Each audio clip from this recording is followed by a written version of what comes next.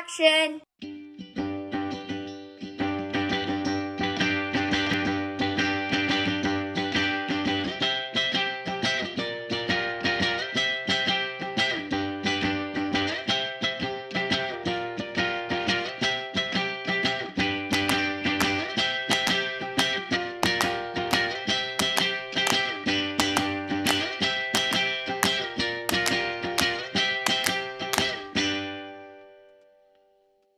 Hey, everybody, welcome back to All Talk uh, with me, your host, Mike All. Thanks again for uh, joining in, watching. Uh, I've got a, a, a, really great guest tonight. Um, not only is he really funny, he's really one of the uh, good producers in the Chicagoland area. Uh, he puts on really good shows. We'll get into that a lot. Uh, he's a, a, successful businessman, a successful visitor, business owner, and a great producer. Funnier by the Lake. Please welcome Larry Bloom. What's going on, Larry? Hey, Mike. How you doing? Thanks for having Good. me.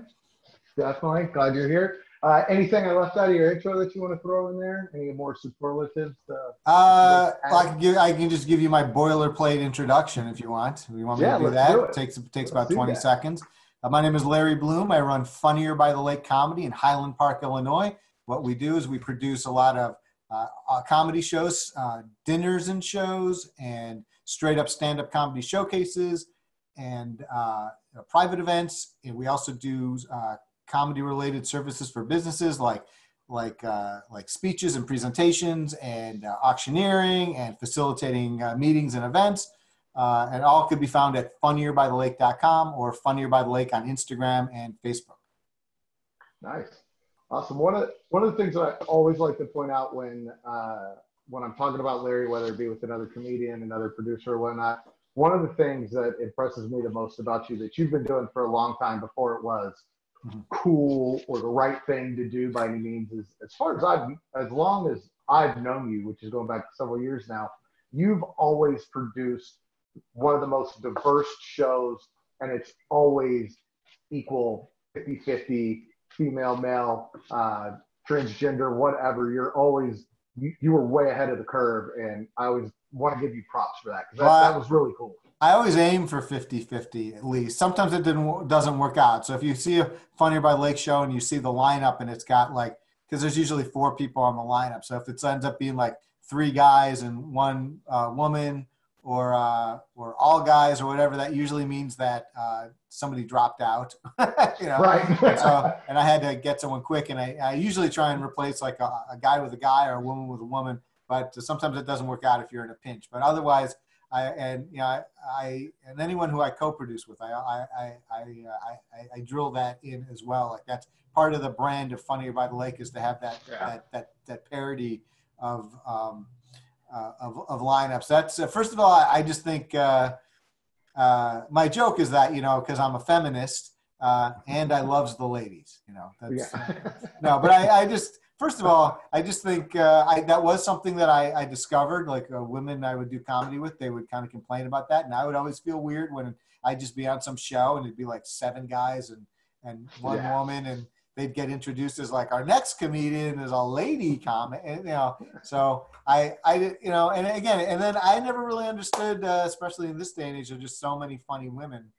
I, I have right. no problem. I got a whole endless list of, of guys and women who, who, you know who I, I look through the book and new people that I meet all the time and there's no there's no shortage of that uh, it was a lot easier to book it when there were only two genders though now it's right. I'm sorry difficult. I can't represent every every uh, you, I, can't, I can't represent everyone just, but you actually book a vegan show too with Laura Hogg, right? Uh, I used to. I started. Well, she's she was asked to do it for the venue, wanted to do okay. comedy. Uh, and then uh, uh, she had done a lot of my shows, and she asked me to uh, help her with it, basically, just okay. Uh, just how to how to pull it together and how to market it, and also how to um, uh, originally just even before she met with the venue, just sort of figure you know just, just figure out how to negotiate that yeah. as far as uh, uh, um, getting paid to do the show and all, and, and everything like that. And and and so and I did that for with her I think from June to December, and then she just took it over on her own. Um, she didn't really need yeah. me anymore, so. right. um, but uh, we did the first six together, and then and then now I'm like a, you know, occasional. If I'm free, I'll come and I'll watch or I'll do a guest spot. Yeah, which is nice. That's cool. So one of the questions I've always wanted to ask you that I, I I'm glad I thought about it as we're sitting here talking you do a lot of stuff in the northern suburbs, you know, almost all the way up to Wisconsin. You do, I know you do some stuff down in the city too, but a, a majority of your stuff is, is up in the northern suburbs. With yeah. kind of going back to the, the 50 50 show, have you ever run into anybody in those far out suburbs that it's like, whether it be audiences or the venue itself that, you know, you're booking a show at a bar or whatnot that have given you shit about the amount of women that you have on there or anything like that? Have you ever run into anybody giving you a hard time about it? I don't think so. I don't think I don't think any venue or audience member or yeah. other comic. well, I mean, you know, and then the other, you know, there were there could be other comics who, you know, there are guy comics who don't think women are fun, you know. So, but no, yeah. I've not, I've not, I've not gotten any pushback at all. I, uh, you know, we try and book really strong lineups, and that's what really even if a venue owner is like oh he's you know they see the promo and yeah. and there's a couple women on there and they might be like oh there but you know but we we book really strong lineup so uh, that usually even if they had something in their head it's usually like you know what? It was really fun. Like so yeah. it kind of wins them over. Uh, i'm really you know i don't just book like anybody. I, I there's a right. there's a process and i have a pipeline or i used to when we were able to book shows but i uh, but I had a no, I had a I had a pipeline. I had a particular show where the venue was really great and the and the owner was really uh, uh, supportive, and that would always be my first show that I would book people um, before yeah. I brought them onto like uh, shows where people were paying more, like dinner and shows where it might be like sixty bucks a head and stuff like that. Right. So. Uh, um, but but again, but I didn't just book anybody. They still had to submit, you know, uh, yeah, uh, to they, would still have to submit a video, uh, especially if I didn't know them, uh, to, uh, uh, to to be considered for the show, and and it would have to be good. You know, I did I didn't really like taking chances. So the long story short is, regardless of what anyone might feel about like, oh, there's a there's too many women on the show, or it could be like a, you know, it could be a racist thing, like, oh, right. why is he booking these black guys or whatever? Or places where I go where they're not liking the Jews, you know. Yeah. but you know what? When everybody's strong, because I'm a Jewish person, I mentioned that I, I do shows in, in weird suburbs in sure. Wisconsin and stuff, and they're not fans of Jews, you know, but we all have a good time, you know. It's, it's, all that matters, yeah. yeah. That's as long as it's a good show, as long as it's funny. Uh, uh, there's, uh, I did once at a show that I produced, I did get one uh, uh, from the side of the stage. I did get one solid uh, Trump 2020 with a solid uh, Heil Hitler salute. Um, Fantastic. It was about a year, a year or so ago, I believe. Um, that was a little weird, but uh, yeah. and that was to me when I was on stage. But I uh, I rolled with it. By rolling with it, I mean I I just did not let up on those guys uh, until they. Um, I don't know if they left or they were asked to leave. I because I, I, I think the owner wasn't really happy about that. The venue owner wasn't really happy about that.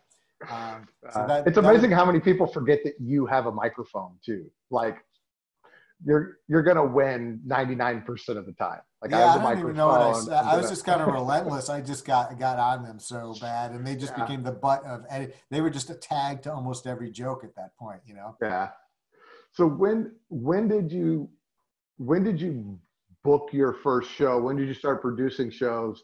And was it called? Was it always called Funnier by the Lake, or did you produce under something else before that? Uh, I produced under nothing for a little while. I just, I just, I was doing. Uh, I started doing comedy up in the North Burbs at this little venue uh, in Highwood, and they they had asked me to. Uh, they saw me perform, and then they had asked me to run a monthly show, which was sort of like a hybrid open mic. So it was sort of like an open mic. So it wasn't like a it wasn't like a necessarily, but I would book it or I would invite people to come. But yeah. then it was it was loose enough that like if, if if you showed up and asked for a spot, if we had a spot, I'd give you one. You know.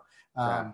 And so I probably in 2014, after I'd started doing doing regular shows, and then I think other venues I started picking up other venues, uh, and then also doing comedy on my own, getting booked on my own, and uh, for Yeah. doing like uh, private stuff. Um, I just want. And I'm a branding person. That's my other company. I do branding. I do marketing. So Yeah. to me, it was like I I I want. And the first thing I thought of because I I've grown up right on the on the. I grew up on the lake in Wilmette. And I lived away for a long time, but now I live again in, in Highland Park, which is right on the lake. And I grew up my entire life I uh, growing up there, and even in the city, when you listen to the weather report, it's always just like it's going to be uh, it's going to be 75 degrees with uh, northwest winds, uh, and they'd always say cooler by the lake. Yeah. And that, and so when I was, and then the first name I thought up was Funnier by the Lake, and that's where it came from. So, So uh, Funnier by the Lake. If so, if anyone can't see, it's right right behind me. That's right up I'm. I'm, I'm, I'm, I'm in the I'm in the uh, I'm in the tech booth of the the beautiful 300 seat Funnier by the Lake Theater in, uh, in the North Burbs. It's my so story. one of the things uh, that I, I keep saying this because it's what I, it's one of the things I love is I love googling all these people that I already know and finding out. So uh, one of the things, so when you were talking about that place in Highwood, was that Billy Corgan's place, Madame Zuzu's? No, that no, I'd actually I no, I I'd been doing shows for a couple of years before. Um, no, he was his was in Highland Park. It was like right down the Okay. street from my house, and uh, yeah, it was called Madame Zuzu's. It was, it was a little uh, man, maybe like a maybe like a thousand square feet uh, tea house. Jesus. and uh, okay. there, there, were- you know, it was really mellow. It was great. He was really supportive, and he really liked the shows, and and uh, and like uh, uh, I was, I always used to say that there were two things that would pack that place. It would be funnier by the lake comedy shows, and when he would do something. of course, he, those were the two things that would that would pack that joint. Those were I, I did that show for almost three years. Uh, for a while, it was every other month, and then I did it. Then I bumped it up to every month, and uh, I did that for almost three years until the month that they that he closed it down. He's actually Yeah. he has a new space he's working on opening. I don't know if that's going to happen. Obviously, everything's kind of Yeah. changed, but So, uh, other than you and Billy Corgan, uh, my my favorite, uh, my other favorite Highland Park resident was uh, Harold Ramis. Did you ever uh, did you ever bump into him up there? uh, first of all, I'm aren't you a sports guy? I am a sports guy. Because you know that's Michael Jordan's house. It's still for sale, by the way, in Highland Yeah, Park. the, the big 23, the, the big gate with the 23 on it. I've driven by there before. Did they still Place- have the 23 that on the place gate? is so nouveau riche trash. Give me a break. That is like a it's a it's a it's a it's a estate built by a millionaire who did not grow up a millionaire. it's, a, it's it's so That's a audacious. way to put it. They can't sell it. They can't uh, start. They've been trying to sell it for years. They uh, his Is it you know still him that owns it? Or no, well, his wife. They got his divorced. so his wife, and you know, his they were selling it for like twenty three million dollars. I think the last time I checked, they were asking like fourteen million or fifteen million. Yeah. It's, yeah, it's ridiculous. Yeah, nobody, it's just west of it's just west of 41 and half. Yeah, it's right? it's Like, yeah, it's on the west side. Yeah. Yeah. Um, But I then I also like right on that same neighborhood was Scottie Pippen's Yeah. house too. He lived there too. But oh, oh, did he? so you asked me about Harold Ramis. Harold Ramis. Yeah, because I know Harold. I ran into Harold Ramis up there a couple of times. I actually ran into him one time at a gas station. He was bringing out case after case of beer for like a party at his house or something. I was like, Well, "You need some help, man?" He's like, "No, I got it." I'm like, he okay. didn't live. Uh, he didn't live in Highland Park. He lived in Glencoe, which is one. Oh, okay. is one suburb south, still Yeah. still right along the lake. So if you're just heading down south on Sheridan Road in Highland Park, you get past uh, Lake Cook Road and you're you're in Glencoe at that point. Um, I know But, where um, Glencoe is because I asked my wife to marry me at Glencoe Beach. oh, okay, cool. That's a really nice. Yeah. Let's just get a nice overlook there. Um, Yeah, it's but right. um, no, so so he lived in Glencoe, but his office was in Highland Park, and then I had an office for years that I just uh, closed uh, back in like October, I think. I just Mhm. got out of there like in October. I didn't need it anymore. And uh, but his office was right down the hall for me. I mean, we're not talking Oh, a big office building. It was just the second floor above a restaurant. There was maybe like ten offices, and his was in the front. And then oh, right had- there by the train stop. no, no, no, no. It, it was by. It was actually across from the old uh, Highland Park movie theater. The Okay, old all theater. It was right across the street from there, um, and and so his office was. But he was gone. He had just gotten out because he died. He got he was sick, Right. so he was sick, and he had got out there. Um, uh, and he might have even died like right before I got in there. and then I actually took some uh, furniture from his office, and I had like a desk yeah? from his office that I used, which I was very proud of. I just thought that, but he was just a yeah, he was just sort of like a he was very accessible. He was a really he was just like a guy around town, you know. Yeah. Uh, he would just be at, at a restaurant. He would just be walking through town, and uh, it was uh, no big deal. It was it, it was Yeah, he was very approachable. Like I only saw him like a couple of times, but every time he was very approachable and, and easygoing. So um, First, the first time I saw him in Highland Park, I was uh, with our, our, our friend slash client. We were just in downtown Highland Park. It was a nice day. I don't know what the hell we were doing. We were just standing on the corner, and uh, maybe uh, one of us was getting going to drive away, and we are just standing there talking first. And uh, and then uh, yeah, the guy he's like, "Oh, that's Harold. Oh, there's Harold. Or there's Harold Ramis." and Harold was not well, and he looked totally different. And I took Yeah. one look at him. I was like, "That's not. That's not Harold Ramis." And he's like, "No, I think it is." I'm like, "That." And, and then I went, and then I looked at some recent pictures. I'm like, "Oh, I guess it was." I, I hadn't seen him in a while. He was just he just gotten he was starting to get very sick. So uh, yeah. I didn't. Uh, uh, I just didn't even recognize him, was crazy. So one of the, the other thing I have to get to this real quick because this is just kind of funny to me. When you Google Larry Bloom, Okay. do you know what the first non-paid thing that comes up is? The first non-paid result Yep, having to do with me or to somebody else. the name Larry Bloom, just the name Larry Bloom. Oh, oh, uh, it might be uh, Orange is the New Black. Yeah, Yeah. Jason Yeah. Biggs. I didn't know that was his character's name. In Orange is the I've never seen that show. I've heard it's a very good show. This is how I learned that there was a character named Larry Bloom on that show. I got I, I set up Google alerts for certain things. So Yeah. funnier by the lake and my other company's name, ATI Creative Consulting, if you're interested, and uh, Larry Bloom, and and I got out Google alert one day for Larry Bloom, and it was just the weirdest. It was like the oh the, the, the Google alert was like to an article that was titled "The Internet is full of hate for Larry Bloom." I'm like, what the hell is that? I'm like, like I know I piss people off, but is there some sort of like great. is there some sort of like uh, is there some sort of like movement about me that I'm and so I Yeah. followed the link and then I that's when I learned that uh, and then there was like a blog called like I hate Larry Bloom Yeah, there's a blog there. There's also uh, an all. And he was like the least liked character on that show. He was the least Exactly. liked character on a show full of prisoners, and he wasn't a prisoner. wasn't a prisoner. Everybody hate and, and, and people who Yeah. watched that show hated him. Yeah, I always so I watched Orange Is the New Black, and here's the thing that I will tell you about it. I don't know if you ever watched Weeds No, or not. No. So Weeds and Orange Is the New Black is both done by uh, Jenji Kogan. Cohen. Uh, I think that's her name. Yeah, but she can write three ep- three seasons, and then it's crap after that. And in my opinion, that's what she did with Weeds, and then she did it again with Orange Is the New Black. But there's also in googling Larry Bloom that apparently there was a alderman that was corrupt as fuck. no, no, no. You are wrong. He was not corrupt as fuck. That's that's that's where you're totally wrong. Actually, he was a very he was like the good guy alderman. He was in Hyde Park uh, for years. He was the alderman. I mean, he was a Jewish guy. Hyde Park was a very uh, uh, uh, I think it was a black neighborhood, or it was very Mhm. ethnic. So, but he was their alderman. Everyone loved him in the city. He was the guy that never got in trouble. He was the guy that people would, when aldermen would be getting in trouble, they'd always point out Larry Bloom as this guy who just didn't didn't uh, break the rules. He, he was very Yeah. ethical. And so basically, um, what happened was they had this big, years long investigation called Silver Shovel. That Okay. was that was that, so. If you look up the Silver Shovel scandal, and it had to do with write um, that down. it had to do with um, there's a really great piece on NPR I heard uh, not that long ago, uh, and they reran it recently. Uh, uh, someone explores the whole investigation about that and some of the key players, and uh, but it had to do with like illegal dumping of uh, of like construction material and asbestos and stuff like that. I believe.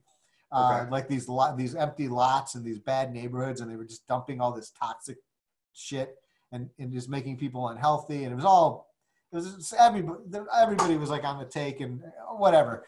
Anyway, he got he right at the tail end of Silver Shovel. They indicted him. He had uh, he had uh, I think he had like uh, uh, committed some fraud, some tax fraud, Tax fraud. either Yeah, for himself or his clients, whatever, Yeah. something like that. So it wasn't like the biggest deal. And that was like, and I will tell you that I that was back in I'm going to say like 1997 or 1998, and I was living in the city and I ran a, a business. I was a, like a GM for this business for a, a, division of Eastman Kodak, and I ran this little operation. I remember I came in to my shop because we had a retail, and then we had a photo lab, yeah. and then my and my offices, and then and I came in, and one of my employees he's he's holding up. Must have been the Sun Times because the Tribune doesn't use font this big. It was like the biggest font I'd ever seen. Yeah. Uh, yeah, it was sort of like you know Dewey defeats Truman level, you know, yeah. gigantic. I still have the paper somewhere, and it just said Bloom indicted.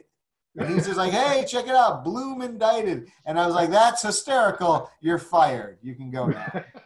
and uh, but I was, I would get calls. People would look up Larry Bloom and his first name, uh, Lawrence, and we both had the same formal name too. And people would look him up in the city, and I would get calls like on my uh, answer machine back then. It was kind of pre pre voicemail, I think. Yeah. And it would be from people who were supporting him. Just be like, "Oh, we're just calling to say that you're a good guy. I don't, you know, I don't think you did anything really wrong, whatever." And and uh, I would get these messages like to, like in support of the guy. Uh, That's he, hilarious. Yeah. So he wasn't. Uh, yeah, he was not. Uh, he was not corrupt as fuck at all, especially in the city of Chicago. Still indicted uh, I don't know if he went to prison. I think he may have gotten a sentence that didn't involve prison, but uh, regardless, six still, months, but he probably didn't do it. It was either suspended or it was uh, something yeah. else. But uh, uh, it doesn't matter. Still an altar boy in Chicago. Comparatively, yeah. Oh, please, please, yeah. please. We were like most of our governors become incarcerated. I know, please. right? please. Um, so when I was reading over like some of the bio and stuff that you have um, on the Funnier by the Lake and whatnot, uh, one of the things that stuck out to me is uh, your degree in uh, sociology and fine arts. How does that turn into? I can see how that would turn into comedy, but how does that turn into marketing and consulting? Um, well, sociology has a lot to do with marketing, obviously, because it's the study of the behavior of groups. Uh, sure. Know, so um, that's actually pretty. Fine art. well, fine art is actually I, I, I, majored in both, fine art and sociology. Well, I've always been a, an artist. I've always been an artist, uh, drawing and painting, and then in, in college, actually, my, my concentration morphed into photography because I'm also a photographer as well. Um, I do a ton of photography. That's your favorite media, right? Photography is your favorite media. Yeah, yeah, and uh, yeah. I hadn't even picked up a camera in, in two months until about a week or so ago. I actually broke out my good gear to go outside and take photos of stuff because I take I do all the photography at Funnier by the Lake shows and uh, even other uh, comedy shows people ask me to do. And I used to do other stuff, but this is really all I take uh, photos of. But so I, uh, yeah, I studied fine art, and then uh, I also just had an interest in uh, sociology, and and I didn't do much with either. I, you know what, I got a job after college that just was kind of a dumb job that just I, I stuck to it and I just I, rose into management pretty quickly. And uh, then I was just I just got into management and business development and then I got, I was good at it. And then when the company got purchased uh, uh, by a, a, division of Eastman Kodak I mean they hired me to be the, the GM of the new business that they formed. Yeah. so um, that so I that so that's how that worked. I wasn't so, but but as far but as far as fine art and sociology, when it comes to marketing and branding, those are actually two um, very compatible um, yeah. skills and degrees to have. Yeah. Nice. Yeah. The other thing that I noticed. Uh, I used to say is, that sociology was the uh, if a socio- sociology taught me nothing else, it's taught me that um, everybody can be pigeonholed. I haven't. I used to say that. I haven't said that in years, but I used to say yeah, that all the time. Everyone could be pigeonholed. Con- that was my conclusion. Everybody, every every person, every group of person, every segment. You know what? Uh, you know, uh, everyone could be pigeonholed, profiled, whatever. However, however, you know, if you're going to market to people, that's how it works. That's yeah, it works. nice. Yeah. The other thing that I noticed when reading uh, your bio was um, you had made a comparison to Hawkeye from MASH. So my question for you is more not about the comparison, but what is better? Which did you like more, the movie or the series? Oh well, God, Mash the movie was my favorite movie for when I was a kid for a very long time. I, Yeah. I've seen that movie hundreds of times. Uh, I will say it's not that I made a comparison. It's just like that was my mod. Like I wished Your mom. I had that was I wished I had the the the wit. Obviously, you know, it's a it's a fictional character. That's why he always has the right thing to say. But like to be able to come in and and just have the the witty thing to say, the witty comeback, the the, the way to to to flip something around and make it funny, and just always be super smart and super funny. I mean that that's that's why he was my favorite character. That's why I just wanted to be able to do that. Yeah. Uh, okay. You know what? Um, Donald Sutherland as Hawkeye and Alan Alda as Hawkeye are two completely different characters. Two totally different characters. I Two think- totally. I mean, the same character, but played totally. No, different. they're to, they're totally approached. Uh, Alan Alda way and in the series, especially the early years before they started taking themselves way too seriously, um, like most sitcoms. Um, right. uh, Alan Alda way more slapsticky, way more slapsticky. Uh, in fact, there were so many. There were times when he'd be walking around in a Groucho glasses and nose and stuff. You know, uh, I mean that it was more slapstick. It was more quick, uh, quick uh, punchline or set up a punchline or quick quip that kind of stuff. Right. The movie w- was a heavier movie. It actually wasn't even a comedy necessarily. So it, No, it was definitely. I, I So mean, the characters well, were- I, I- mean, the it could be a characters were more dark and brooding. Even the funny ones Right. were, were it was more brooding.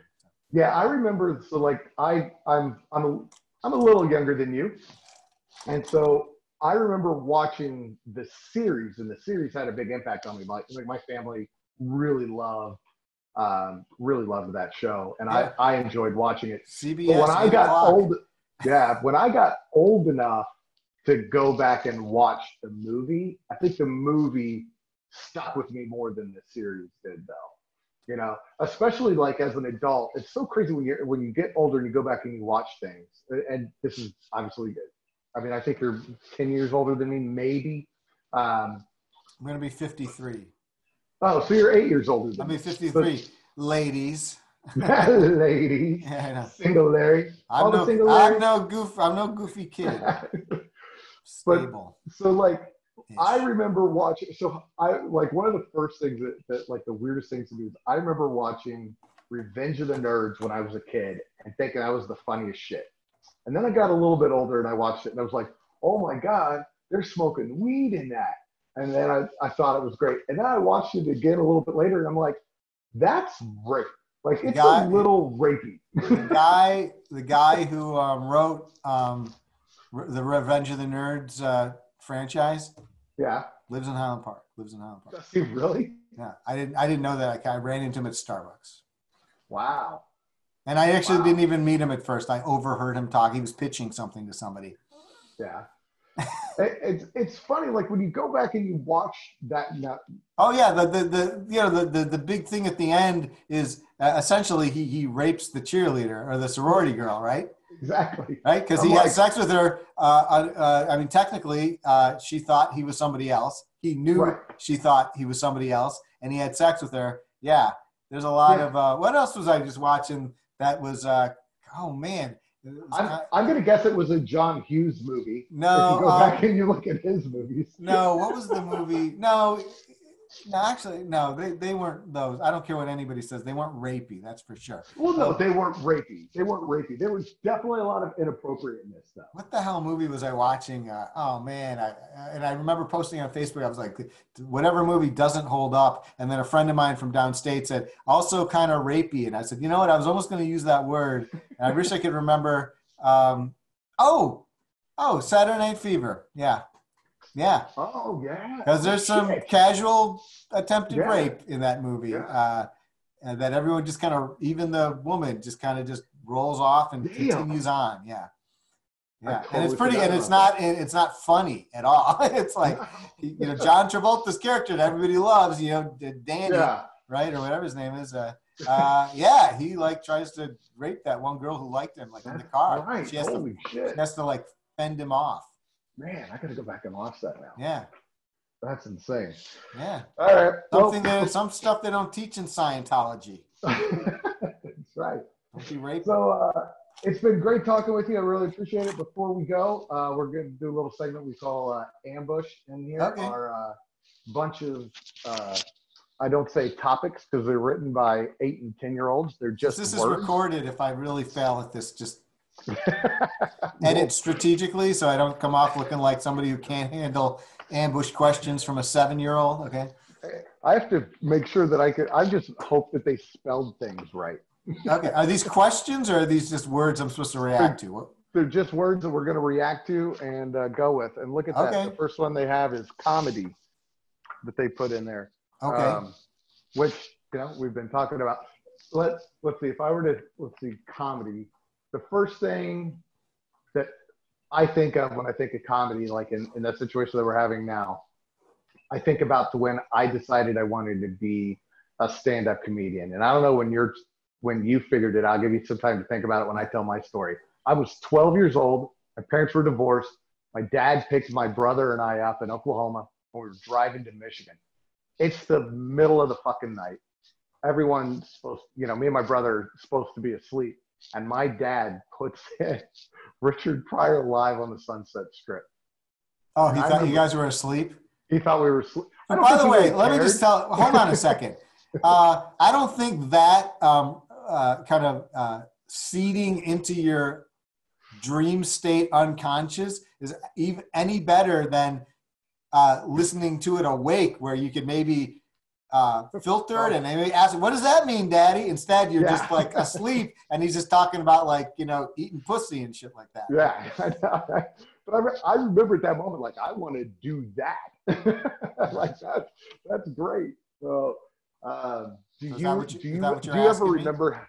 Yeah, do you ever have? Do you remember having a moment where you're like, I know that's what I want to do. Like you were watching somebody, you heard somebody, or anything like that, or or it was it just kind of a slow process that all of a sudden one day you were like, yeah, this is me, what I do. Well, I didn't. I didn't start doing stand-up comedy until very late. So probably only, you know, less than ten years ago. Uh, I was doing some other stuff, but um, before that. But when I was young, yes, I had a great reverence for stand-up comedy. I I basically studied it my entire life.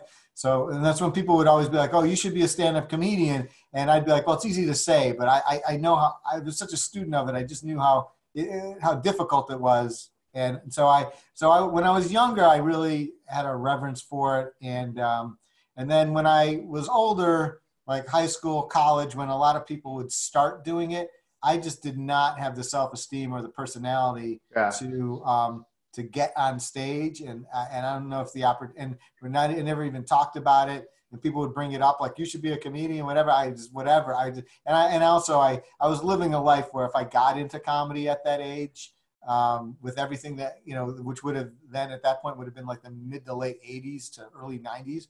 Um, uh, if I got into that lifestyle, I would just be dead because I was already living a very crazy Right.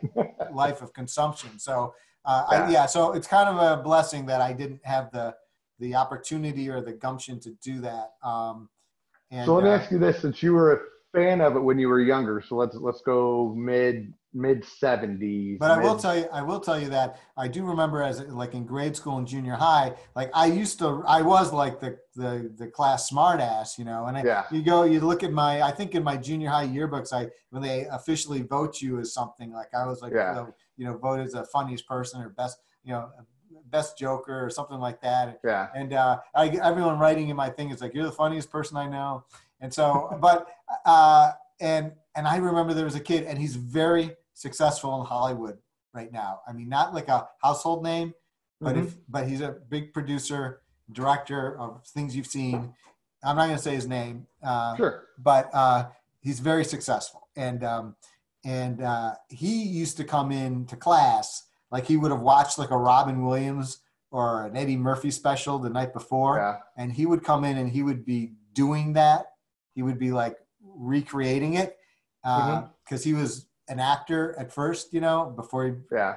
uh, went to the behind the scenes and uh, as an adult and uh, and uh, I used to get so mad that he was just doing somebody else's Yeah. even as like a little kid at the junior high I'd be like hey right. I'm like Hey. I'm writing material here I'm writing I'm writing jokes about I'm working over here. I'm writing Ayatollah jokes here. You're just coming in and doing Robin Williams jokes about what if the elbow was as sexy as the tit? You know, you know talk about Mr. Happy. Come on. Yeah, come, on, man. Get your No, own stuff. Now he's a uh, yeah. Now he's extremely. I guess he was right though because he's extremely successful in Hollywood, which is difficult. Yeah. All right, let's do one more before we get out of here real quick. Let's see. Uh, staying on time. Uh, I don't Staying on as time. a as a producer, staying on time. How how big of a deal is that to you?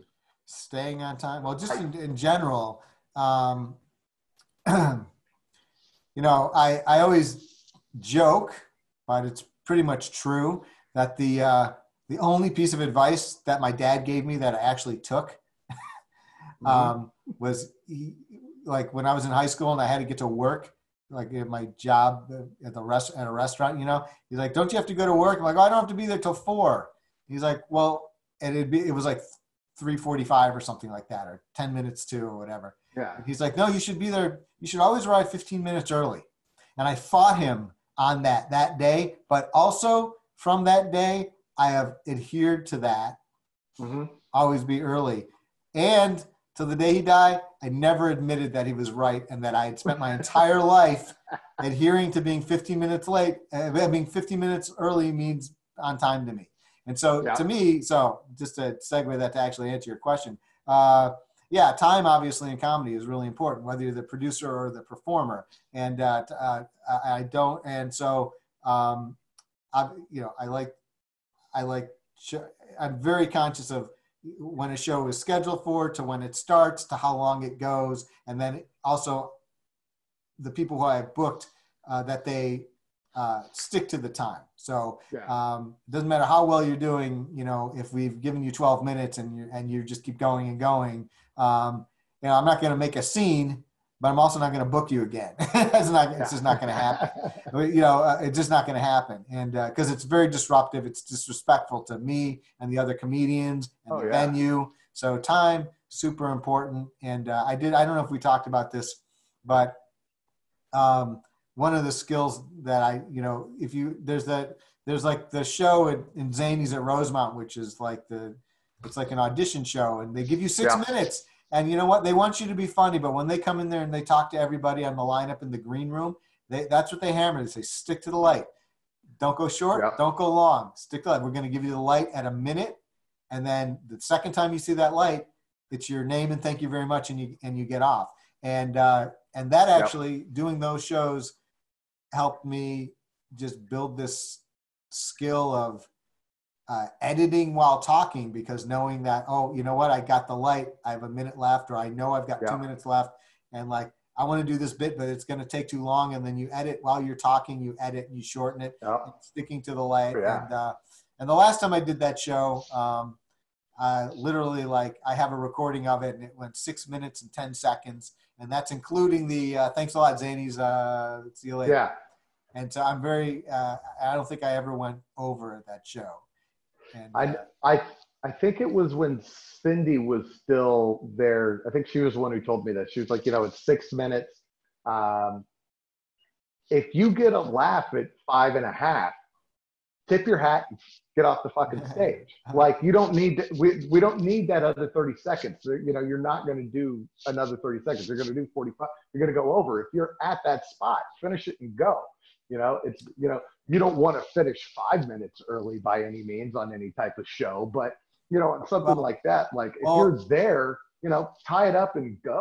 well what i learned from doing those shows and some other like club shows which where time was really the, the, the an essence you know uh, i uh, um i just i just um I, I learned as a as a as a producer how I just when i produce just how, how important it is uh, you know when i when they give you six minutes or another place gives you 10 minutes or you do a funnier by lake show and i'm giving you 10 you know or we're like it's one of my my, my the show that i my pipeline show that i i book everyone first. It's like when i say we give you 10 minutes uh, when you do that right that that tells me that like you can do 10 minutes which means when i give you 10 minutes you're not going to do six and a half and you're not going to do 15 minutes. Right. You know, that's what gets, so that's why like those shows, which are sort of audition shows, uh, that's what they want to see because they want to know, hey, we gave them six minutes, they did six minutes. So in the future, if we're going to give them a feature spot, 25 minutes, half an hour, or, or, or you know 15 minutes whatever that they're going to do that that they know this is the yeah. time and they stick to it and then i really brought that into producing as well uh, i don't make it uh, i don't sit everybody down and be like look everyone stick to the time. I do i do say you know mind the light you know don't go long. Right. and if we keep flashing you you got to get off. Um, and well you expect a certain professionalism out of anybody that you book. Like you shouldn't have to beat it, beat it into somebody that you know you have to be off at 10 minutes. Hey i told you you're doing 10 minutes. You're going to get a light at 8 you're going to get a light at 9 be professional and know that you got to be off at 10 and some people that some people even even pros and some people because they're pros um, don't really respect that you can get away with it a little bit if you're the closer or the headliner but if you're like second in a lineup of four or five people and you've now just you know and it's like a an hour show or on a 90 minute show, whatever the case may be, you've just screwed it up because, you know, a lot of times yeah. with venues, uh, if, especially if you're renting the space, you have X amount of time. If somebody goes five minutes long or 10 minutes long, that you might have to take somebody off of the lineup or tell your headliner, oh, you can't do 45, you can only do a half an hour. That's, that's how right. important it is. And a lot of people um, don't really, uh, obviously the audience doesn't uh, realize it all and some people who are actually performing don't respect and that's uh, i just it doesn't matter how funny you are uh, i just and there's people you know i have co-producers and there's just people i'm just like i'm not booking this person anymore yeah. They cancel too many they cancel too many times or they run the light or they uh, or they just get up early for no reason and then and people yeah. have to scramble. And but by the way not just the host if whether it's me or the host but there's also somebody waiting in the wings to go next. And you know your head is you're just like, you're calibrated to you're calibrated to um, I'm going up in five minutes. Yeah, you're thinking things through, and you're looking and you're and you're gauging the responses and you're processing all that, and then all of a sudden somebody gets up early and like, oh, you're going up now. It's just a, a domino effect of, of, of, a needless domino effect of, of chaos and disruption. You, you want to? This story will probably drive you batty and it it pissed me off really bad. I won't name the venue or producer or anything, but I was doing a show. Was it one of my shows? No, it was not. All right, then go ahead. so I, I get there and they're like, hey, uh, we're gonna have you close out the show because it was one of those ones where I didn't know what the order was. I was just booked on the show, and I get there and they're like, we're gonna have you close out the show, and I'm like, great. And they're like, what you do 25 minutes? I'm like, okay, great. So a couple of people go over. One guy goes over really far. Mm-hmm. And so it's, I'm going up. They haven't said shit to me. The last thing that I was told is I'm doing 25 minutes. And I'm like, great, this will be a good time for me to work this set out. I'm going to record it because there's somebody there that was recording everything. And then I was like, this is going to be perfect for me. I'm going to, I'm going to work this out. Uh, I've been, I haven't done a 25 minute set in a while. It'll be great. I get a light at 17 minutes. And I'm like, uh, what's going on? And they were like, you gotta, you know, like they, they flashed me again. And I'm like, all right. So I just, I finish up. I, I got the light. I knew I had a minute. And so I finished up and the, the MC wasn't back there because he knew that I was supposed to be doing 25 minutes. Uh, the producer the, had to finish on time. Oh, the producer. Uh, the producer. the producer gave me, he took my time from all of the other people that had gone over, but didn't tell the MC or me that he had taken their time. So I just had to basically, you know, finish up and go because they, like you said, they had to be out of the, they had to be out of the venue. Like that's fucked up, man. Like you couldn't tell me like, hey, now you're going to do 18 or whatever. I mean, to cut somebody seven minutes, eight minutes without telling them is a big chunk to just throw at somebody and not even let the MC know who's the guy who's running the whole thing. Well, it doesn't. It doesn't make. Uh, it doesn't make. There's almost it's very hard to avoid in that situation where you would just be like, uh, what? Uh, okay, okay, I guess I'm not like, you know, you just realize don't have time for all the rest of what I was going to say. Oh, I guess that's it for me. That's, it's a, it's not a good way you want to go out, you know? It's not a good way that I wanted to go out, especially when I was trying to get this nice 20 minute set that, you know, because sometimes bookers, when you're going for longer sets, want to see a 20 minute set. So I'm like, this is what I'm thinking, but I don't. Don't ever send me a 20 minute clip. Okay? I will never send you a 20 minute set. I, I, I my, cri- my criteria for the in my submission form is uh, uh, send a, a, a, clip that's uh, at least eight minutes or about about eight minutes, and uh, yeah. I and uh, which is kind of long. I don't unless it's really good. I don't watch all eight minutes of it. Um, part of that is uh, I just want to have people who have done enough that they have an actual like eight or ten minute uh, video instead of just uh, all they've got are sh- short ones which are kind of crappy and i also want to know that i want to see like an eight or nine minute clip so that because a lot of my some of my shows like the, the guest spots and feature spots are like 10 15 minutes i want to I don't, I don't want to just be like well i saw a five minute clip hopefully they hopefully they can do 12 the other 10 won't suck uh, and then the other reason i do that is some people will be like oh you know what i don't have like a I don't have anything current that's like eight minutes long. I've got some shorter ones. When I look, I know you. You're funny. Just send whatever. It's okay. I was like, right. oh, you know what? I do that just to just to self filter so I don't get a lot of uh, uh, amateur garbage. There's a lot of that. well, speaking of time, I think that's probably a good spot to finish it up. Um, okay. Before before we get out of here, uh, you want to run down any of your credentials again, any of your social stuff where people can find you uh, and, and anything that's going on? I can do that. Um, okay, well, uh, thanks for having me. Uh, I'm Larry Bloom, Funnier by the Lake Comedy in Highland Park, Illinois. We produce a lot of live comedy shows, dinners and shows, straight up comedy showcases, um, private events, uh, uh, comedy services for businesses like writing and presentations and uh, uh, auctioneering, uh, meeting facilitation, uh, all things where we can inject comedy. you can find all that out at funnierbythelake.com and follow Funnier by the Lake on Instagram and Facebook. You just go look up Funnier by the Lake. It's the only one that'll come up.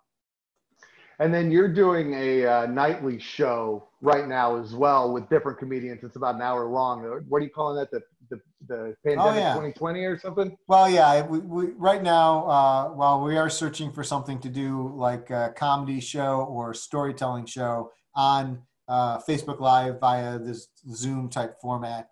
Uh, but for for the time being, we're doing uh, almost every night uh, interview shows. I do call it the 2020 pandemic interview show. I specify 2020 because, of course, there will be a 2021 and 2022 pandemic. So I, am just I, am a branding right. person, so I, I wanted to be accurate. Uh, and so each each one of those, it's a, it's usually at 7:30 um, uh, each evening. Uh, you can find it on the Funnier by the Lake Facebook page. It goes Funnier by the it goes uh, Facebook Live um, each evening. Each evening about 7:30. Tomorrow, actually, we're doing it at seven o'clock. Though I know you're pre-recording this, that means nothing. Tomorrow doesn't mean anything. Uh, but and then and what we do is we interview primarily creative people. So comedians, actors, producers, writers, poets, um, some uh, uh, venue owners, uh, some business people, some friends, uh, really just to give them a platform because as performers, we're all kind of existing in a vacuum unless we do something like this, do something online. Just give them a platform to talk about uh, where they came from, what they're doing, what they were doing in the past, what they're doing now, and what we will all hopefully be doing in the future. And also let them get uh, you know if they've got social media they've got websites they've got merchandise they've got albums. Yeah. Uh, I, I want i want to uh, uh, a big part of funnier by the lake is giving is giving a stage to people um, uh, you know uh, professional comedians up and coming comedians so we're kind of doing the same thing via this interview show yeah, well, I uh, I appreciate you coming on tonight because I know you were just talking with uh, Johnny Diaz tonight for an hour, so I'm sure you're probably a little talked out. well, you know what? I'm living. I'm alone here in isolation in my house, so uh, I talk to my dog all day, and uh, so uh, actually spending two hours talking to uh, humans is, uh, believe it or not, uh, no, on a normal day uh, outside a pandemic, a full work day. Sometimes I come home and I, I got to do a show or something like that, and I mean, I, will realize like, man, I've been talking for hours on end, and throat will hurt. I'll be exhausted yeah. from hearing my own voice and thinking. This is actually a little little treat. So nice. Well, Larry, thanks for uh, hanging out with us for a little bit. Um, you can find everything out uh, that you need for uh, All Talk uh, with me, Mike All, at mikeall.com. Uh, once again, Larry, thanks a lot for coming. Appreciate it. And uh, we'll talk soon, I'm sure. All right. Thanks, Mike. See you later. Thanks. Bye.